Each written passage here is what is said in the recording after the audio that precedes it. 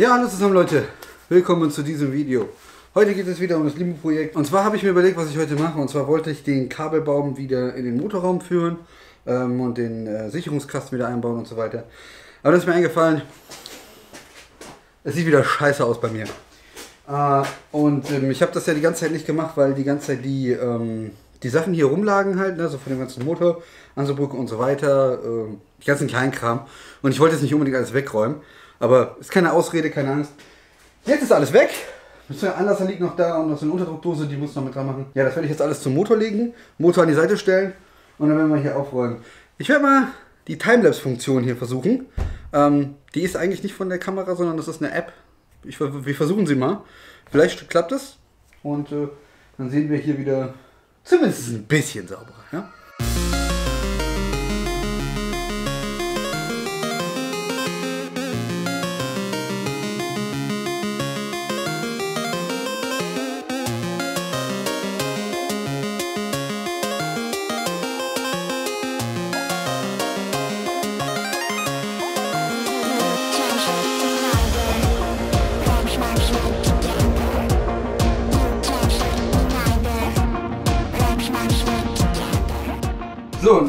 Kleinen Timelapse habe ich schon ein bisschen vorgearbeitet. Ihr seht hier was.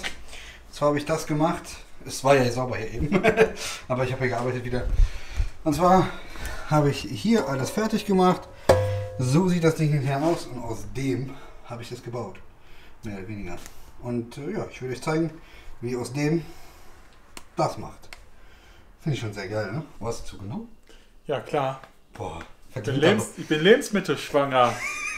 Das weißt du doch. Ja, wie ihr feststellt, habe ich es äh, zum Jens geschafft, beziehungsweise es gibt eine kleine Planänderung. Der Jens hat eine Presse. Und äh, ich wollte vermeiden, wo ist denn Anhänger dran? Den neuen. Da. Ich sitz drauf. Genau, hör auf, dich darauf zu setzen. ich wollte es vermeiden, beziehungsweise umgehen, die Lager hier oben neu zu machen. Die kleinen.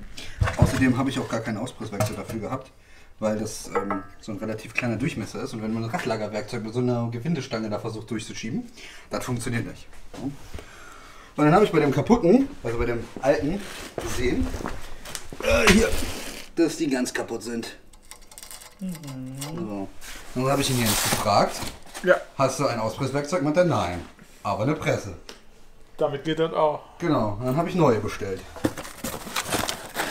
Einmal die. Die. So. Kann ich Karton öffnen. Hm? Ja, mal. Haken dabei. Kuckuck. Ja, das sind die unter, das müssten, ja, das müssten die hier unten sein. Die hier, genau. Und die anderen, die kleineren, die hier. Warum auch immer da so ein komisches Ding dran ist.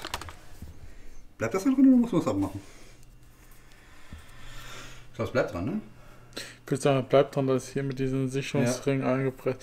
Ja, wahrscheinlich. Das, ich, ist auf jeden Fall noch nie gesehen. Auf jeden Fall Fett drin. Vielleicht bewegt sich der innere Teil, das äußere bleibt drin, der innere Teil bewegt sich. Weil du hast ja normalerweise auch Gummilager, wie hier. Ja. Du hast ja außen die Metallhülle, dann Gummi und, dann, wieder diese Metall. Metallhülle. Ja, ja. Und das soll sich ja, darf sich ein bisschen verdrehen, aber auch nicht zu wild. Deswegen sollst du das ja im eingefederten Zustand aber erst Ja, festschrauben, weil sonst reißt du den Gummi ganz äh, knallig. Ja, hauen Sie. Es knallt. Laute Geräusche. Oh, oh, da kam sie, oder? Nein, das ist nur das Ding drüber. Doch, ist, glaube ich, aber auch rausgerutscht. Nein, war nicht. Damit ihr seht, was wir meinen. Diese Schraube hat keine Lust. Und keine Lust rauszukommen. Das ist die Exzenterschraube. Von der, vom Querlenker hinten. Und die hat keinen Bock rauszukommen. Okay.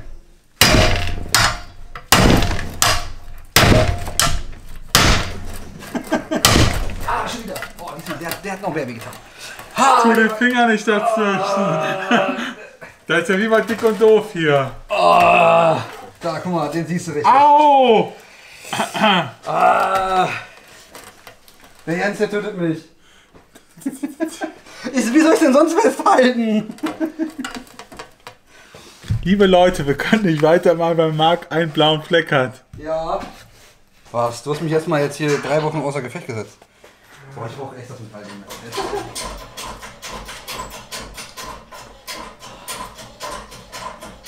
einmal laut Orsch in die Kommentare schreiben. Wir haben eine sehr sichere Konstruktion gemacht mit einer Verlängerung. Schutzbrille trage ich auch. Ja. Aber wir haben das jetzt Ah, rausgekriegt. warte, warte, warte. Die Kamera irgendwie festmachen. Dieses Lager, wo wir. So. Kommt langsam. Hat uns die ganze Zeit geärgert hat. Und er sich verletzt hat. Ja. Nein, jetzt hat mich geschüttet.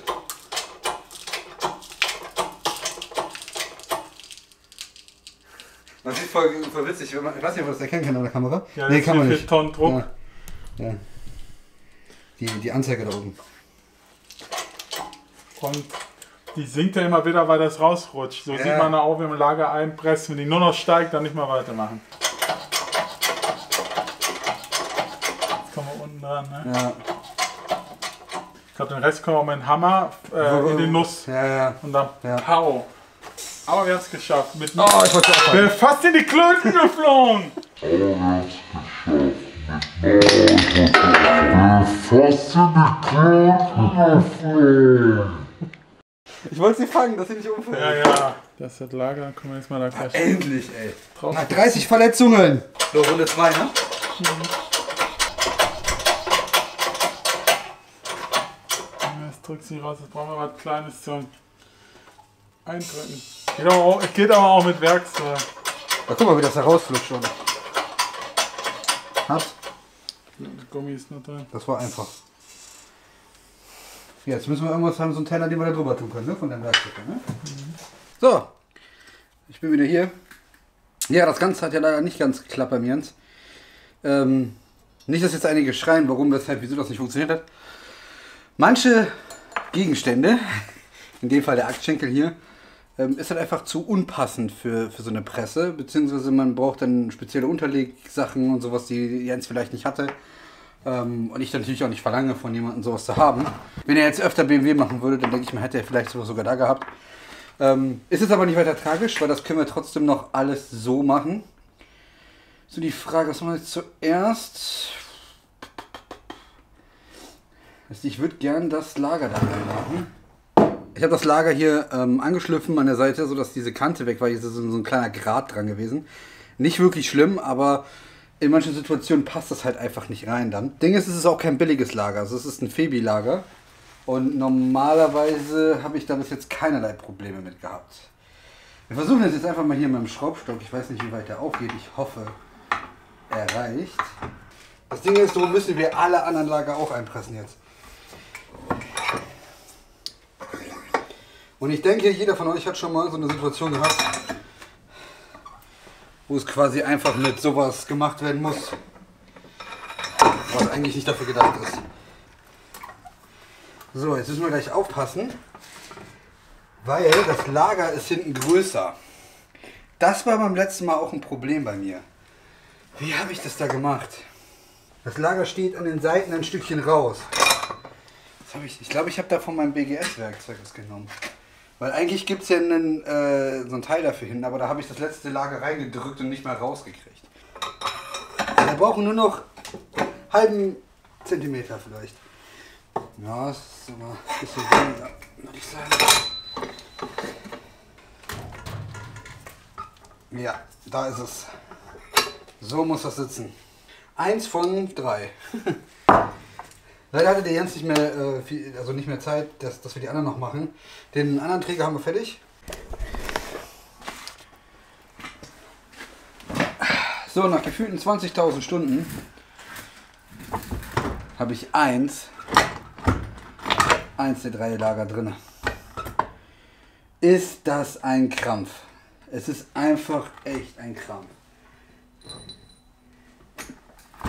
Ich habe das Werkzeug, was ich benutzt habe, um äh, das ähm, Längsleckerlager rauszuholen. Das ist das hier. Ich muss das hinlegen, das ist heiß, weil ich es ausgebrannt habe gerade eben.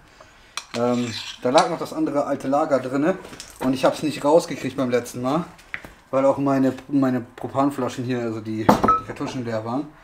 Ich habe das jetzt einfach heiß gemacht, so heiß wie es ging und äh, dann mit dem Bohrer. Äh, einfach mit dem Bohrer rein, so dass ihr halt einfach dazwischen zwischen die, das Gummi und der Kante kommt, dann bröselt euch auch das äußere Teil hier weg. Ich weiß nicht, was ist das? Also so Gussalu oder sowas ist das ja hier. Ja, ich habe sogar noch ein Stück hier. Hier. Und das, das, das bröselt dann einfach weg.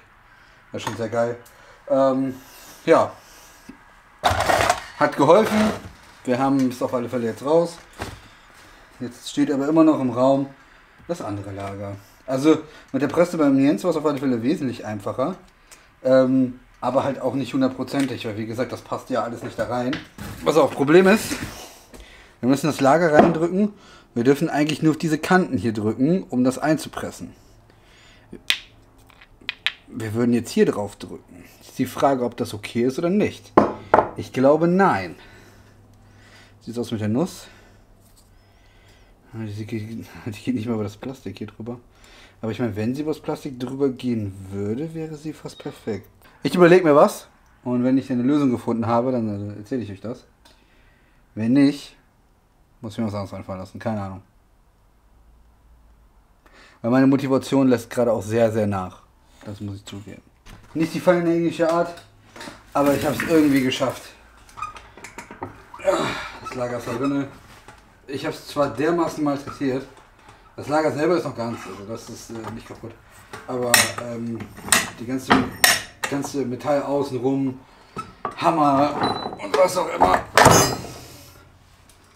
Ja, das ist sehr, sehr perfekt. Boah, das ist sogar richtig gut. ich werde die ganze überlegen, ob ich weitermachen soll oder nicht.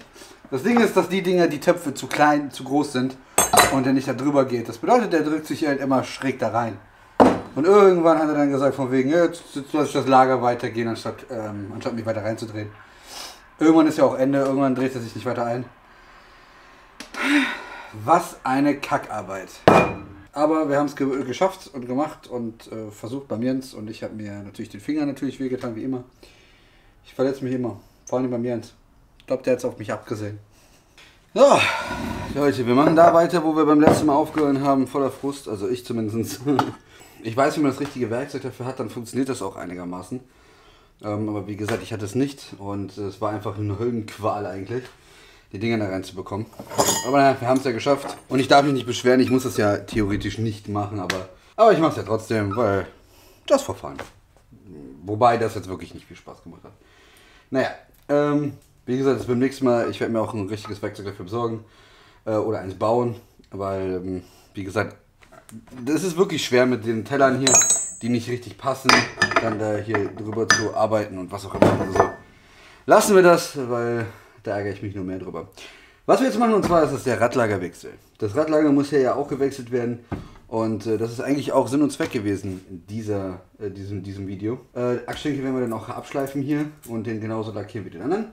Die Sachen jetzt auszupressen, also im Endeffekt müsst ihr jetzt das hier auch auspressen. Das ist wirklich auch wieder so eine, so eine Sache, wo ich sage, na, hätte man es auch besser lösen können. Beim letzten Mal habe ich mir was kaputt gemacht, das zeige ich euch jetzt. Und zwar haben wir hier meinen BGS-Koffer. Das ist ein spezielles Radlagerwerkzeug, was halt wirklich für Radlager geeignet ist. Das Problem ist, wenn sich ein Teil schief stellt, dann habt ihr ein echtes Problem. Je verrosteter sind, desto schlimmer wird's und so weiter und so weiter und so weiter. Diese Stifte sind dafür da, um, das, um die Narbe herauszudrücken. Die drücken hinten gegen, könnt ihr euch aussuchen. Hier sind äh, relativ starke ähm, äh, Gussteile, wo ihr gegendrücken könnt. Dafür sind die da. Die sind dafür da. Jetzt haben wir ein Problem. Wenn, wie gesagt, von der Länge her das nicht mehr ganz passt und ihr das nicht ganz rauskriegt, stellen die sich erstens, seht ihr, dass das hier schon eiert? Dann habe ich eins, was komplett abgebrochen ist. Ich sag mal so, das passiert. Das muss passieren, das gehört dazu. Ich habe mir dann natürlich Ersatz besorgt. Und zwar habe ich mir ganz normal äh, dieselben äh, Schrauben nochmal in etwas länger vor allen Dingen. Also sie sind einen Zentimeter länger.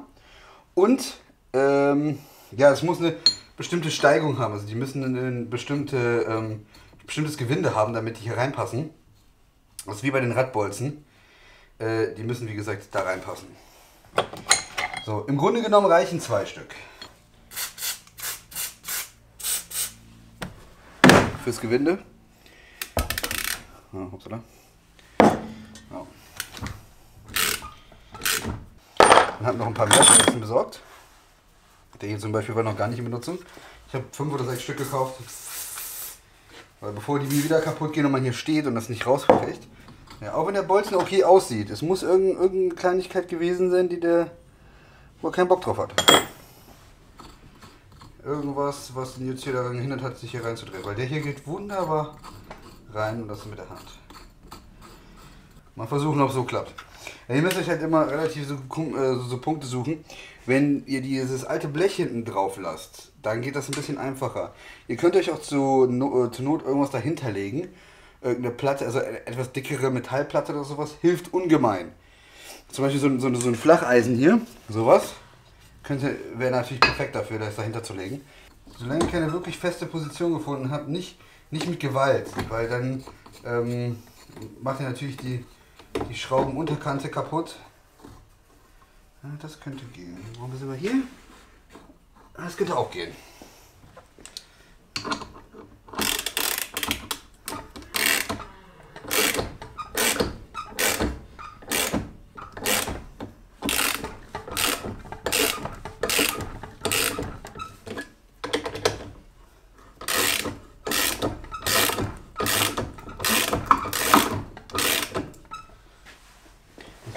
Bisschen aufpassen, dass ihr halt auch wirklich treffen. Wie gesagt, nicht, dass ihr jetzt hier an einer, an einer Kante seid und ähm, euch diese Mutter quasi wegläuft. Äh, diese Schraube meine ich. Weil durch diese Drehbewegung, ist ja klar, Se- seht ihr, jetzt habe ich die zum Beispiel bewegt hier. Und jetzt haben wir nämlich ein Problem. Aber es- ich sag mal so, es geht noch. Es ist sogar schon fast draußen.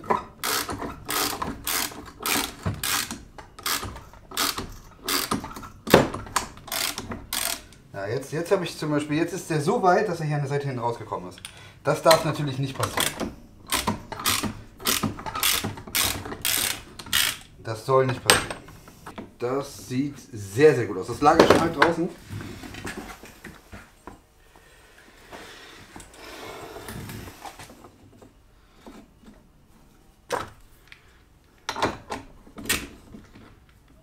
Ist schon ganz raus? Ja, ist schon ganz raus. Sehr gut. Das war das ganze Hexenwerk, um die Narbe abzubekommen. Äh, und wie gesagt, wenn die ganzen Sachen drauf sind, habt ihr zum Beispiel auch Schraubenlöcher hier. Ähm, die könnt ihr natürlich auch perfekt benutzen, um dagegen zu drücken. Das ist auch richtig gut, weil da sind die ja meistens relativ stark, also verstärkt halt.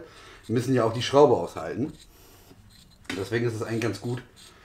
Äh, ich weiß nicht, ob es da bestimmte Punkte von BMW gibt oder so, die man da einhalten kann. Ehrlich gesagt weiß ich das nicht. Wenn ja und ich finde, schreibe ich sie unten rein. Wenn nicht, dann halt nicht. Jetzt haben wir unsere Narbe ab. Die legen wir so zur Seite, weil hier müssen wir gleich auch noch, ähm, im schlimmsten Fall müssen wir es abflexen. Da gibt es aber auch einen Abzieher für, aber den habe ich nicht.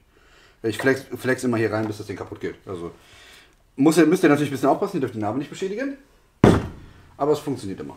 Also eigentlich hat es bis jetzt bei mir immer funktioniert. Ich weiß nicht, ob ich das heute machen kann, weil wir haben Sonntag.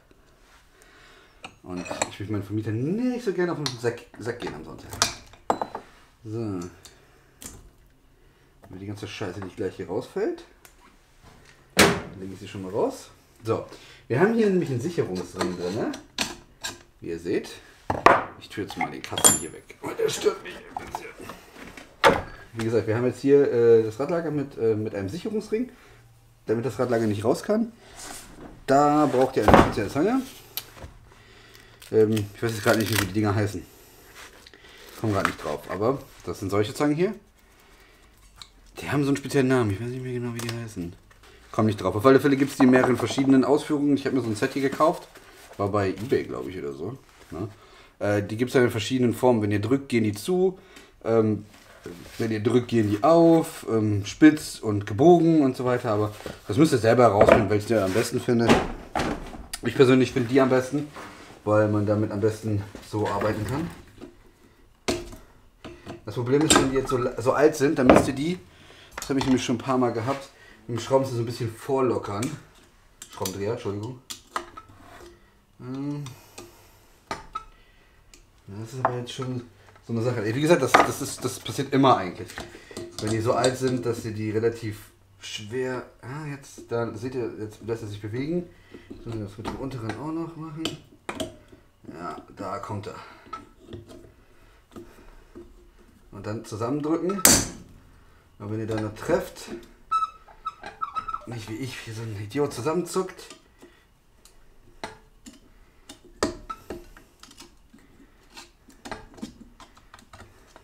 Ich habe so eine Schelle schon mal quer durch, durch die Halle gejagt, ey.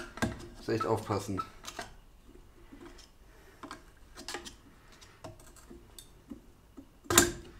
So. Sollte eigentlich jetzt gehen. Wie gesagt, wenn die so alt sind, dann sind die echt ein bisschen schwer abzukriegen. Ja, da, da kommt er. So, den haben wir raus. Jetzt können wir das Lager von hinten nach vorne rausdrücken.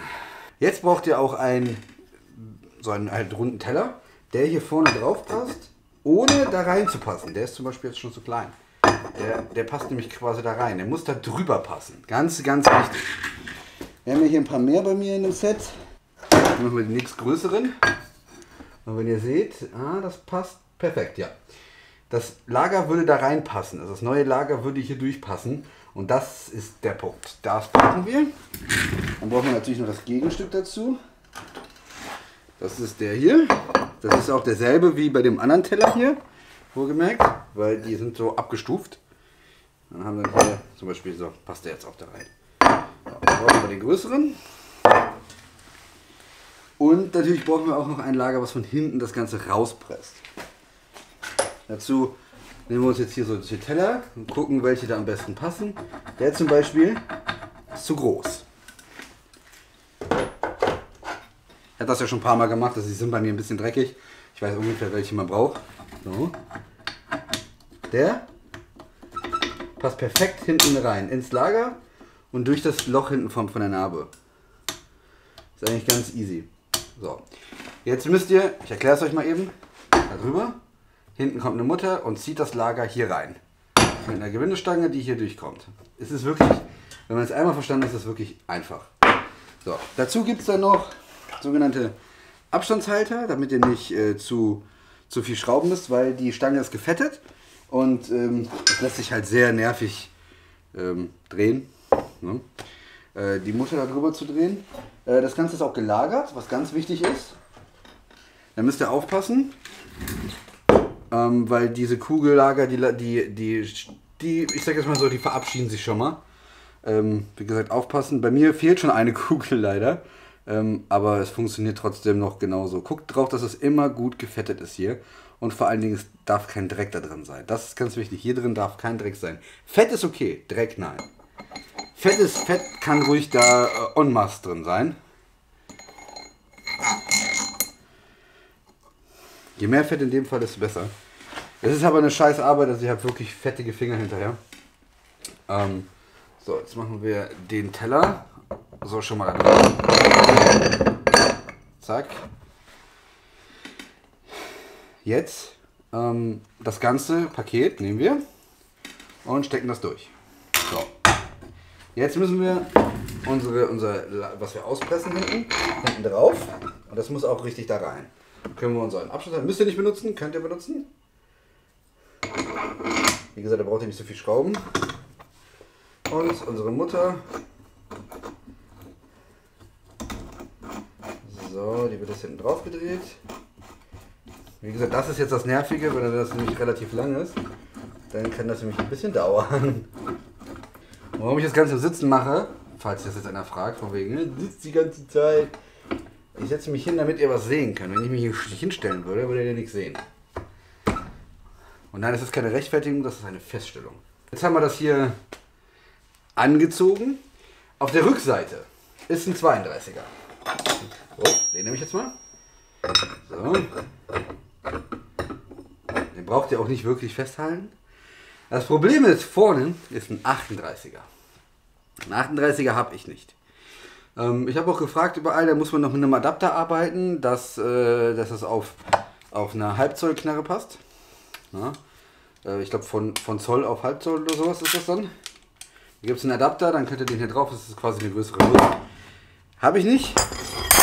Dazu habe ich mir dann den hier gekauft.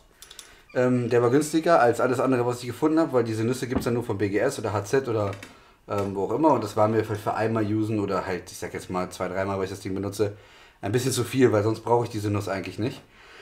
Und das tut es genauso. Das ist, äh, wie gesagt, ein, ein Engländer, nennt man den, glaube ich. Den kann man größentechnisch einstellen, wie man den braucht. Wir brauchen, wie gesagt, 38 und ähm, das passt hier perfekt. Habe ich keinerlei Probleme bis jetzt mit gehabt. Funktioniert auch super, weil die Schraube halt so groß ist. Bei kleineren Sachen würde ich sagen, ist ein Engländer nicht so der, der Hit, weil ihr drüber rutschen könnt. Aber hier ist es halt so große Fläche, die, da macht das nichts, meiner Meinung nach zumindest. Ne? Können, können mich ja das Besseren belehren. So, jetzt ziehen wir einfach nur das Ganze fest. Das ist halt immer der erste Moment, ist halt immer ein bisschen, bisschen schwierig und vor allen Dingen ist es bei mir jetzt gerade sehr kacke angespannt, nur damit ich es euch zeigen kann. Wie gesagt, wenn das einmal rollt, dann rollt das. Ihr könnt es unter Umständen auch warm machen außen. Ähm, und das alte Lager könnt ihr auch ins Gefrierfach packen. Äh, das neue Lager, Entschuldigung. Das neue Lager ins Gefrierfach packen. Das geht nämlich auch. Aber ich habe es bis jetzt nie gebraucht. Ich habe es auch nie warm gemacht. Dann tut es ein bisschen mit Fluschi einsprühen. Und dann geht das neue Lager auch da rein ohne Probleme. Das müsste jetzt eigentlich gleich kommen. Müsste das los sein. Autsch.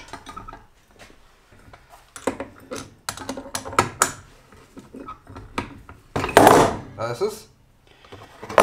Das war's. Ja.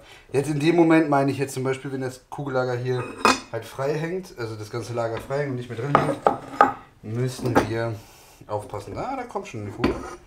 So. Und hier ist jetzt unser ganzes Paket. Da war das Lager drin. So. Die Seite hier. Dann haben wir unsere Abschlussseite. Hätten wir das jetzt nicht, hätten wir das ganze Stück auch noch drehen müssen. Dafür ist das Ding zum Beispiel da. Zum Beispiel. So, hier haben wir den Teller. Jetzt kann ich das mal auch zeigen. Der geht genau hier durch. Könnt ihr das sehen? Nicht 100%, aber das ist auch nicht schlimm. Er muss halt nur die Gro Großfläche des, des Lagers erwischen, um es rauszudrücken. Der andere, der hang hier neben.